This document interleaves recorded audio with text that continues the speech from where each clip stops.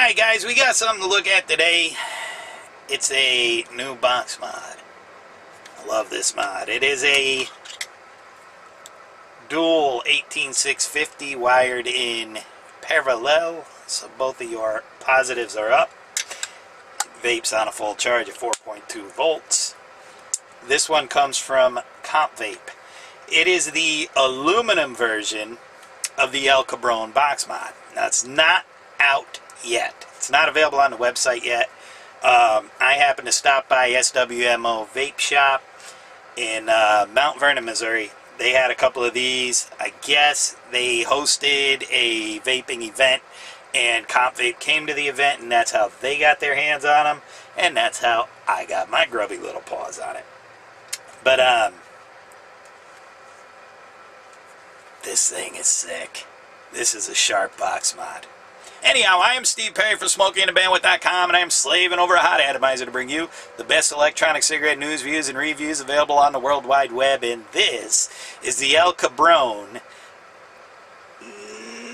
Not quite mechanical. Ah, I want to call this a mechanical box mod, but I really cannot call this a fully mechanical box mod. Here's why.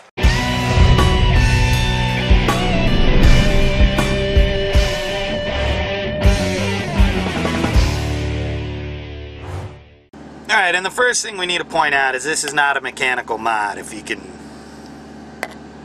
see down in there. Um, you got a wire that runs from your positive button over to the 510. Other than that, this would be a mech. This is your contact that comes down and basically uh, this contact, let's separate these. Um, this contact uh, sits in the top of the mod with this insulator in between it and the mod. And so it sits in place like that and it's held in place with screws. And then your other post like this one runs through here. And when you depress the firing button it comes down and hits that. So that's the way this mod works but I just wanted to clear that up that that is not a fully mechanical mod because you do have the wire that runs in there Alright, so this not being a mechanical mod aside, fully mechanical I should say, um, here she is. There's the front side, and that's El Cabron. That's your goat right there with the El Cabron uh, Comp Vape Design USA. This is, um, we'll call it the non-firing side. I like to hold it in my hand like this and fire with my thumb, but you can also comfortably hold it in the hand and fire with your finger. Um, here's your 510 connector. Now, I'm not sure. Obviously, this appears to be copper. Now, if you look down in there, let's see if you can. There, um, after this amount of time, I would expect to see basically exposed stainless steel if this was just copper threaded, copper plated, excuse me. It has the appearance that this is actually copper. The one thing that stops me from fully saying it is um, it almost has an anodized type of look to it, almost like a rainbow finish. So I'm not sure. Again, the specs are not up on the site, so I'm not sure that this is actually copper or if it is just perhaps um, an anodized finish. I don't know. I've had no problems with the threading yet, but just be aware that that could be threading in copper, which of course is a weaker metal so it could break down. Got your magnetic back door. Now here is one problem that I've run into is this magnet down here.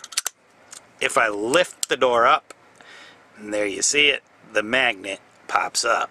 So, um, it just snaps right back into place, but the problem can be averted by simply sliding the door down. Inside the mod, this is going to be the first uh, problem that some of you have with it is you have to undo these screws to remove the batteries. Now, not a big deal as far as I'm concerned. But some people aren't going to like it because it's um, extra work. Uh, as far as I'm concerned, it's a good thing because make, you get good conductivity without having to use a spring or anything like that. and then up here in the top, these are also adjustable. Um, if you want to use button top batteries, you're going to have to um, basically screw these in a little. And that one doesn't seem to want to screw at the moment. There it goes. I had it all the way out. So uh, those can screw all the way in, which will give you the room to use um, button top batteries, but we got our copper contacts here. Again, the button comes down and hits um, the copper plate, sends the power through a wire over to the 510 connection, and that, of course, is the positive. Uh, it is marked in here for positive and negative for the batteries. Obviously, positive up on both sides. This is a this mod is wired in parallel. And then on this side here, we again have the El Cabron engraving with your serial number engraved on the mod. This, again, obviously, is the black version of this mod. It's going to come in a polished stainless steel. Um, I believe a just a regular silver colored aluminum and maybe a couple other colors. I really don't remember. But it has the shape and the look of the other uh, El Cabron box mods. But this is indeed made out of aluminum. So, it is very, in my opinion, um, when paired with the El Cabron atomizer, it's a very, uh, very sharp looking device. Now another thing is it it does have that um, the 510 pin is not floating but it is adjustable. So I've been able to flush mount everything on this device. I don't think that one's perfectly flush mounted at the moment.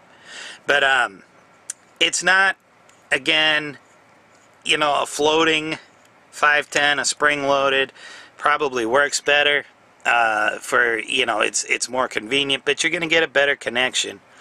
Um, I think eliminating the spring and with the uh, screw in adjusted as you see right there. And it is threaded the same way as the mod which would be a problem for some. I kind of like it because you could just tighten the atomizer down. Once you get a connection on the atomizer you could definitely feel it hit. But if you want a flush mount you just screw it all the way down like so and when you get to the end just give it another turn and then it automatically adjusts itself um, the screw turns with the atomizer to get down to that level but you still have uh, connection there to make a good contact so that's basically the long and short of the El Cabron at uh, El Cabron box mod by Comp Vape. Of course, there's the El Cabron atomizer. Sharp looking little couple. So let's go ahead and give this thing a vape and we'll talk about whether or not you need it. So that's all the stuff you may or may not care about. What you do care about is how does it vape? That's going to depend on what you put on it. What I've got on it is a 0.12 ohm build um, on my El Cabron atomizer, of course. And the thing vapes great.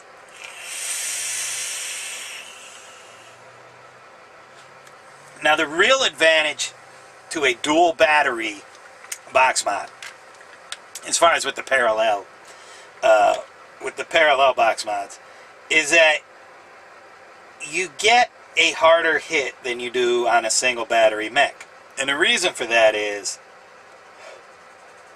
that the batteries are splitting the voltage drop. They're splitting the work, so there's less voltage drop um, when you use two batteries together and it makes for a hard-hitting mod.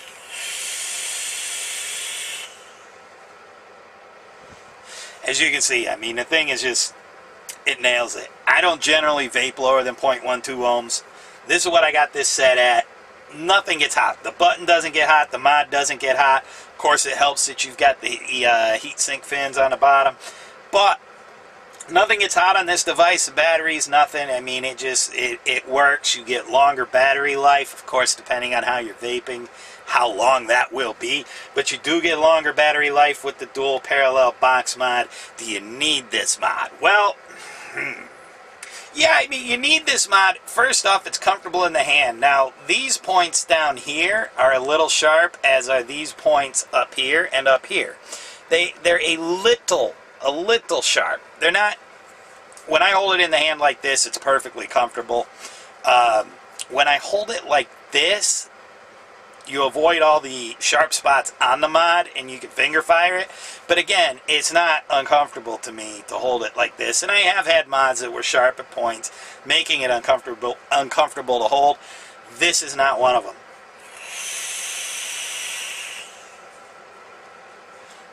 You need this mod because it's nice and compact for a dual 18650.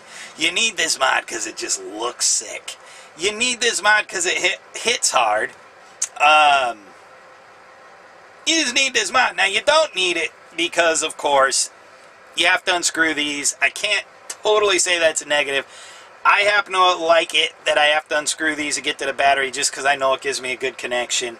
Another reason why you might not need it yourself is the uh, 510 pin having to be adjusted with a screwdriver as opposed to a spring-loaded 510. And another reason why you might not need it is it's not fully mechanical. But on the whole, when you factor in the pros and the cons, yeah, you need this mod.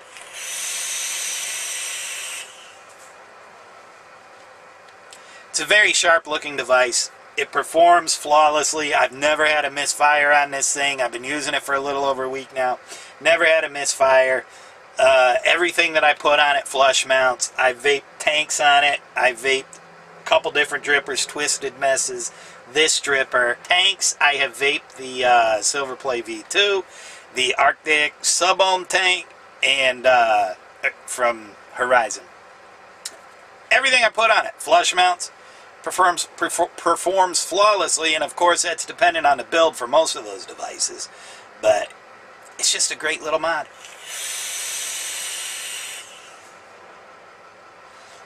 Whether you're vaping in the low sub ohms and you need the dual batteries to handle the amount of amp draw that your your build is pulling from the device or whether you just want longer battery life out of your mechanical device this dual parallel wiring is going to work out great for you and I highly recommend the El Cabron from Comp Vape.